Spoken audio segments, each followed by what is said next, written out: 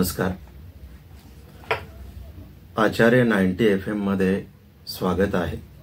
मी रामदास गिळंदे आचार्य महाविद्यालयात मराठी विषयासाठी सहाय्यक शिक्षक म्हणून कार्यरत आहे. आज बालकवींची जयंती. बालकवींच्या जयंती विशेष निमित्त हा कार्यक्रम आचार्य रेडिओतर्फे सादर होत आहे. आचार्य रेडिओने इथे मला आमंत्रित केलं. त्याबद्दल मी सुरुवातीला त्यांचे आभार मानतो आणि त्यांना धन्यवाद देखील देतो. बालकवींच्या जयंतीबद्दल मी थोडक्यात बोलणार आहे. अर्थातच बालकवींचा जन्म होऊन शंभर वर्ष पूर्ण झालेली आहेत आणि त्यांचा शतक शतक महोत्सव देखील अख्ख्या महाराष्ट्रामध्ये अतिशय उत्साहात साजरा झाला आहे. आणि आपण सर्वांनीच तो शतक महोत्सव साजरा केला असेल. आता आपण बालकवींच्या वैयक्तिक जीवनाकडे वळूया. बालकवी अर्थात त्र्यंबक बापूजी ठोंबरे यांचा जन्म जळगाव जिल्ह्यातील धरणगाव येथे झाला. वडील पोलीस खात्यात फौजदार असल्याने त्यांच्या फिरतीच्या नोकरीमुळे बालकवींचे शिक्षण रखडले. पारतंत्र्यातील देशभक्तीपर वातावरणामुळे इंग्रजी शिक्षणाकडे त्यांचं दुर्लक्ष झालं. काही कालावधीनंतर त्यांनी पुन्हा इंग्रजी पाचवी पर्यंत शिक्षण पूर्ण केलं. एरंडोल यावल जामनेर धुळे आणि जळगाव येथे त्यांचे शिक्षण शिक्षण जेमतेम इंग्रजी तिसरीपर्यंत झाले. वयाच्या तेराव्या वर्षी त्यांनी पहिली कविता लिहिली. एकोणीसशे सात साली जळगाव येथे भरलेल्या पहिल्या कवी संमेलनात त्यांनी अगदी धीटपणे कविता सादर करून तेव्हाच्या कवींचे व रसिकांचे लक्ष वेधून घेतले होते. त्या संमेलनाचे संमेलनाध्यक्ष कर्नल कीर्तिकर यांनी त्यांचा बालकवी म्हणून गौरव केला व तेव्हापासूनच त्यांना बालकवी हे नाव पडले. नगर आणि पुणे येथील वास्तव्यात त्यां- त्यांना रेवरण नावा टिळक स्मृतिचित्रेकार लक्ष्मीबाई टिळक तात्यासाहेब केळकर श्री कुरु कोलटकर राम गणेश गडकरी यांचा सहवास लाभ- लाभला. बालकवी लहान असताना त्यांचा काही काळ नगरमध्ये व्यतीत झाला. नगरला असताना ते रेवरण रेवरन नावा टिळक आणि स्मृतिचित्रेकार लक्ष्मीबाई टिळक यांच्या घरी राहत होते. आणि त्या दोघांचा सहवास त्यांना बऱ्यापैकी लाभला. बालकवी आणि रेवरंड नावा टिळक लक्ष्मीबाई टिळक यांच्याबाबत एक किस्सा देखील सांगितला जातो. की बालकवी नगरला असताना खूप आजारी झाले होते आणि चार ते पाच महिने टिळक दाम्पत्याने अर्थात रेवरण नावा टिळक आणि लक्ष्मीबाई टिळक यांनी बालकवींची सेवा केली असं देखील सांगितलं जातं.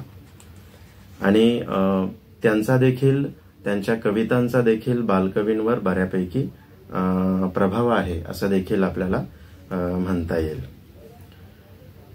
त्यांनी पुण्यात मिशन स्कूलमध्ये तसेच महाबळेश्वर येथे शिक्षक म्हणून मिशनच्या शाळेत देखील काम केलं. अर्थातच तोपर्यंत त्यांचं इंग्रजी पाचवी पर्यंत शिक्षण पूर्ण झालं होतं. जळगाव येथील सुप्रसिद्ध वकील सोनाळकर यांच्याशी बालकवींची चांगली मैत्री झाली होती. आणि त्या मैत्री खातीर बालकवी आणि सोनाळकर ब- बऱ्याच वेळेस एकत्र भेटायचे एकत्र गप्पा मारायचे. आणि अर्थातच तेव्हाची जी कविता आहे म्हणजे आपण केशवसूत म्हणूया किंवा तेव्हाचे जे काही रेवरण नावा टिळक लक्ष्मीबाई टिळक हे जे कवी होते त्यांच्या कवितांवर देखील वकील सोनाळकर आणि बालकवी यांच्यामध्ये बऱ्यापैकी चर्चा व्हायची. आणि इतरही वैयक्तिक गोष्टींबाबत त्यांच्या चर्चा त्यावेळेस व्हायच्या. सोनाळकर यांच्याशी मैत्री असतानाच बालकवींच्या आयुष्यातील रमाई हे गूढ प्रकरण घडलं. साधारण पाच मे एकोणीसशे अठरा रोजी आई अर्थात रमाई आली भेटायला या. अशी सोनाळकरांची तार मिळाल्यावर आणि घरी पत्नी व भाऊ यांच्याशी भांडण झाले असताना ते रमाईला भेटण्यासाठी घाईघाईने जळगावला निघाले. भादली स्टेशनजवळ विमनस्क स्थितीत रेल्वेचे रूळ ओलांडत असताना त्यांना इंजिनाची धडक बसून त्यांचा मृत्यू झाला. तो अपघात होता की आत्महत्या याचे रहस्य अजूनही गुढच आहे. असे सुमारे अठ्ठावीस वर्षाचे अल्प आयुष्य बालकवींना लाभले. आणि या अठ्ठावीस वर्षाच्या अल्प आयुष्यामध्ये बालकवींनी एकूण एकशे त्रेसष्ट कविता लिहिल्या. अशा प्रकारे आपल्याला बालकवींच्या वैयक्तिक आयुष्याबद्दल थोडक्यात बोलता येऊ शकतं. त्यानंतर आपण बालकवींची कवी म्हणून असलेली जी ओळख आहे त्या ओळखेकडे वळूयात.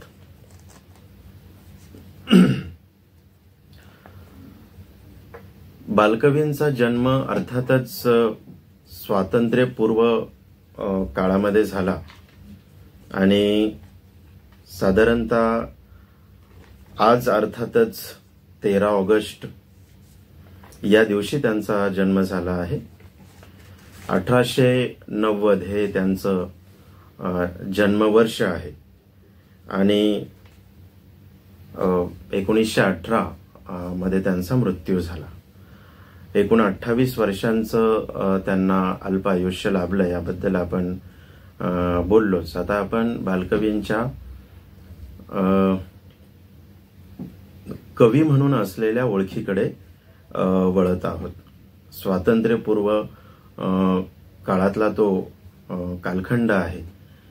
आणि आपण सर्वांनाच माहीत आहे की स्वातंत्र्यपूर्व कालखंडामध्ये जेव्हा इंग्रजांचं भारतावर राज्य होतं इंग्रजांनी बऱ्यापैकी जे बाहेरील देशातील ज्ञान आहे पाश्चात्य ज्ञान आहे त्याची ओळख भारतीयांना करून द्यायला सुरुवात केली होती. त्यामध्येच इंग्रजांनी काही इंग्रजी शाळा काढल्या होत्या. इंग्रजांबरोबरच इंग्रजांसोबत आलेल्या ज्या मिशनरी शाळा होत्या त्या मिश्रण मिशनरी शाळांनी देखील जे काही पाश्चात्य जगातील ज्ञान आहे त्या ज्ञानाची ओळख भारतीयांना करून द्यायला सुरुवात केली होती. आणि अर्थातच त्या ज्ञानाबरोबरच बाहेर देशांमध्ये साहित्य क्षेत्रामध्ये काय घडत आहे? कोणकोणत्या प्रकारचं साहित्य लिहिलं जात आहे? आणि बाहेर देशामध्ये जे काही लेखक लिहित आहेत तर ते कोणकोणत्या विषयावर लिहित आहेत? हां याबद्दल देखील स्वा स्वातंत्र्यपूर्व कालखंडामध्ये चर्चा होऊ लागली होती. आणि त्यातच केशवसुतांनी देखील इंग्रजी शिक्षण घेतलेलं होतं. आणि मग केशवसुतांना देखील इंग्रजी ज्ञानाची ओळख झाली होती. पाश्चात्य साहित्याची ओळख झाली होती. आणि त्यातूनच केशव सुतांच्या कवितेचा जन्म झाला. त्याबरोबरच आपण जर बालकवींचा विचार केला तर रेवरण नावा टिळक गोविंदाग्रज आणि कवी विनायक यांच्यावर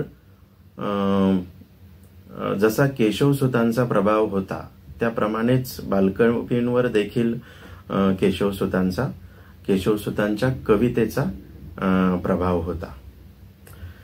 परंतु केशवसुतांची कविता ही सामाजिक दृष्टी असलेली कविता होती. रेवरन नावा टिळकांची कविता ही आध्यात्मिकतेशी जवळीक साधणारी कविता होती. आणि गोविंदाग्रजांची कविता ही प्रणय राधनेला महत्त्व देणारी कविता होती. पण या तिघांपेक्षा बालकवींची कविता अतिशय निराळी होती वेगळी होती. कारण निसर्ग कविता हेच बालकवींच्या कवितेचे सामर्थ्य होते. त्यांनी एकूण एकशे त्रेसष्ट कविता लिहिल्या. याबद्दल आपण आत्ताच बोललो. त्यांच्या एकूण एक एकशे त्रेसष्ट कवितेपैकी पारवा खेड्यांतील रात्र फुलराणी उदासीनता श्रावण मास औदुंबर या बालकवींच्या अतिशय गाजलेल्या कविता आहेत. बालकवींची सुरुवातीची निसर्ग कविता ही सौंदर्याने व निसर्गातील दिव्यत्वाच्या साक्षात्काराने रसरसलेली अशी कविता आहे.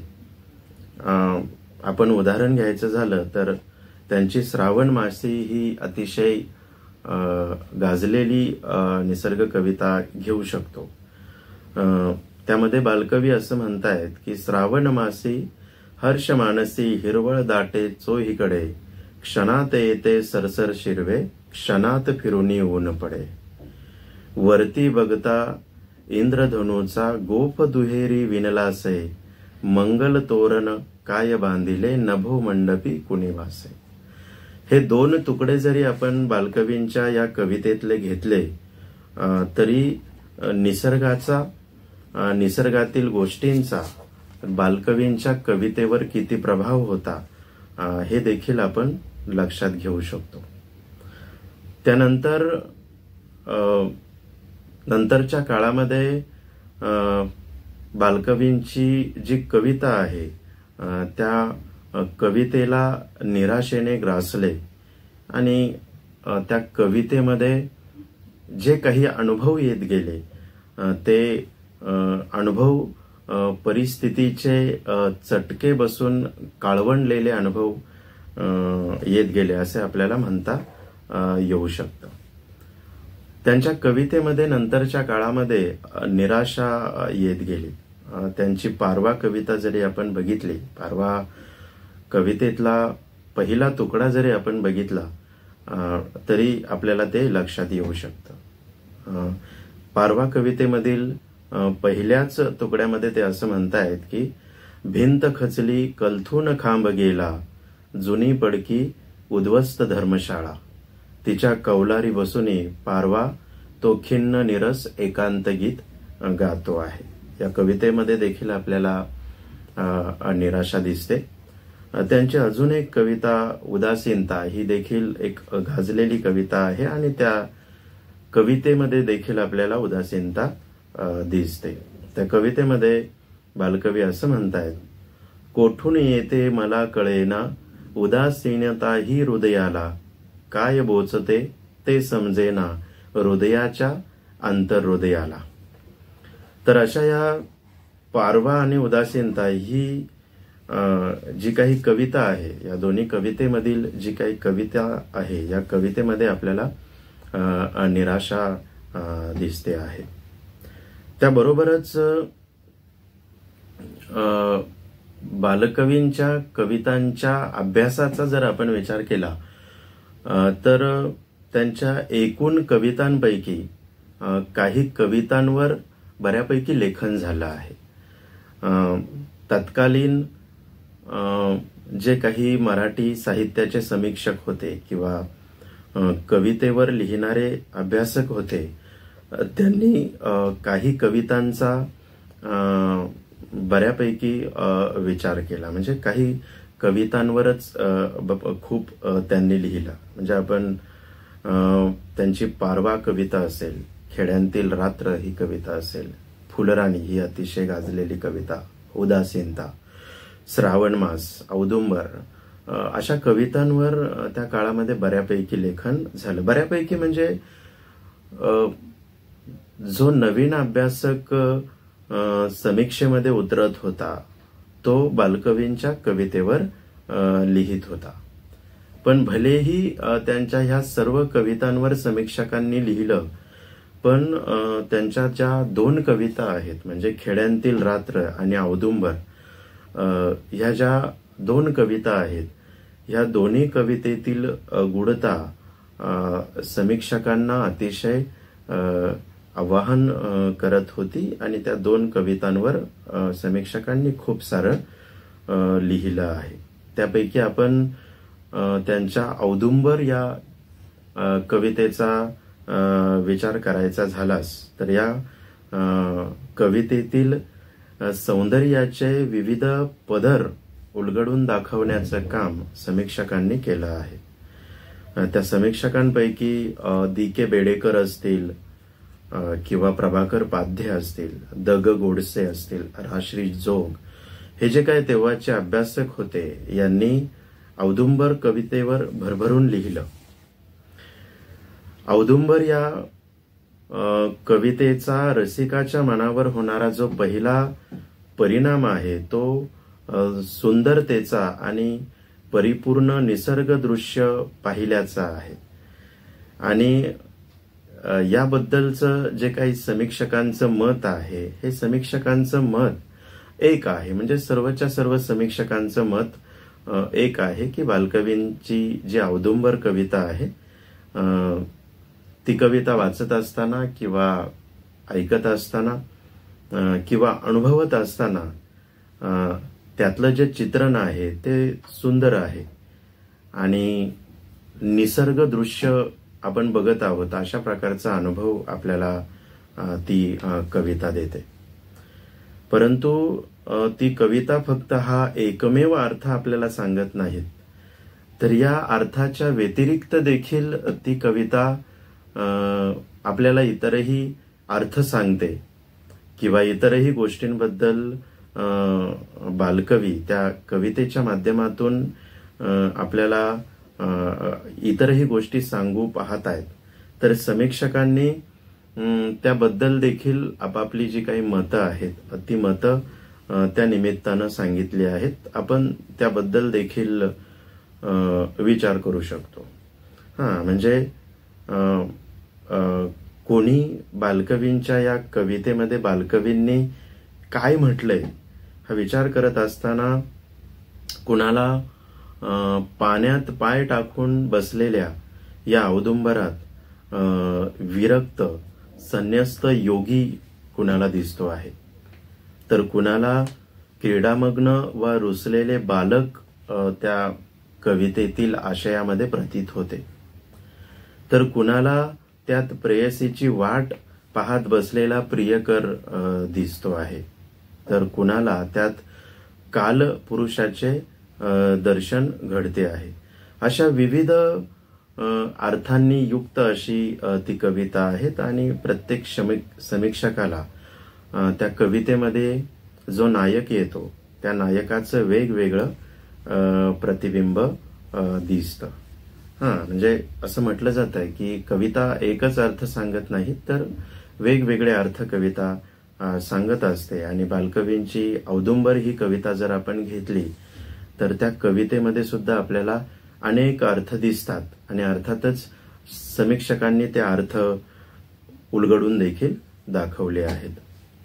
एकंदरीत आपल्याला असं म्हणता येईल की निसर्गाशी अत्यंतिक एकरूपता हा बालकवींच्या वृत्तीचा फार मोठा विशेष आहे.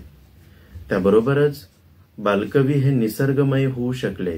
निसर्गाशी अतिशय उत्कट स्वरूपाची एकतांता साधू शकले आणि त्यामुळेच त्यांच्या निसर्ग कवितेत इतकी अवीट माधुरी इतके अमलान सौंदर्य निर्माण होऊ शकले. हे देखील आपण त्यांच्या कवितेच्या माध्यमातून लक्षात घेऊ शकतो.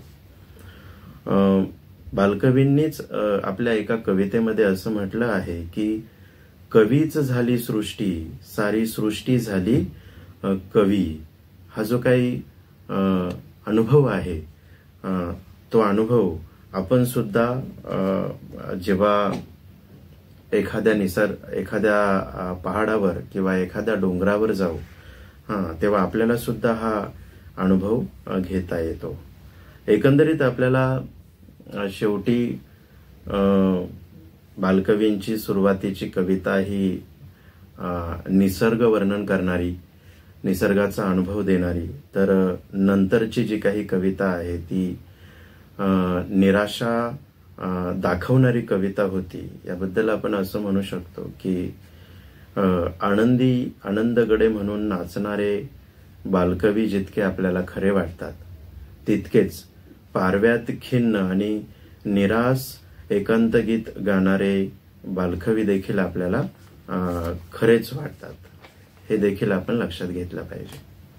अशा प्रकारे आपल्याला बालकवींच्या वैयक्तिक जीवनाबद्दल आणि मराठी साहित्यामध्ये किंवा मराठी कवितेमध्ये बालकवींची कवी म्हणून असलेली ओळख लक्षात घेता येऊ शकते. तर मित्रांनो बालकवी जयंती विशेष हा कार्यक्रम आपण सर्वांना आवडला असेल अशी मी आशा करतो. आणि पुन्हा कोणत्या ना कोणत्या कार्यक्रमाच्या निमित्ताने आपण पुन्हा एकदा भेटूया. आता मी इथे थांबतो. धन्यवाद. आचार्य.